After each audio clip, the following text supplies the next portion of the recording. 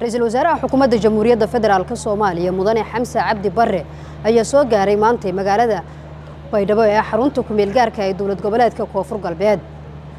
garoonka diyaaradaha magaalada baydhabo waxaa ku soo dhoweeyey madaxweynaha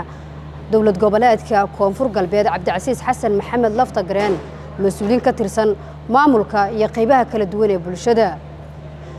safarka ra'iisul wasaaraha ee magaalada baydhabo ayaa ujeedkiisu yahay xoojinta wada shaqaynta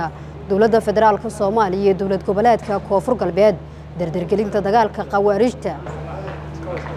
ra'isul wasaare xamse cabdi barre ayaa inta uu ku sugan yahay magaalada baydhabo waxa uu kulamo la yeelan doonaa maamulka koonfur galbeed oo uu kala hadli doono arrimaha siyaasadda dhaqaalaha amniga iyo dardargelinta dagaalka khawaarijta sidoo kale waxauu la kulmi doonaa qaybaha kala duwan ee bulshada kuwaas uu ka dhagaysan doono warbixin la xidhiirta xaaladooda nololeed ee ka jirta deegaanada koonfur galbeed. Nasro bashiir cali warbaahinta qaranka magaalada baydhabo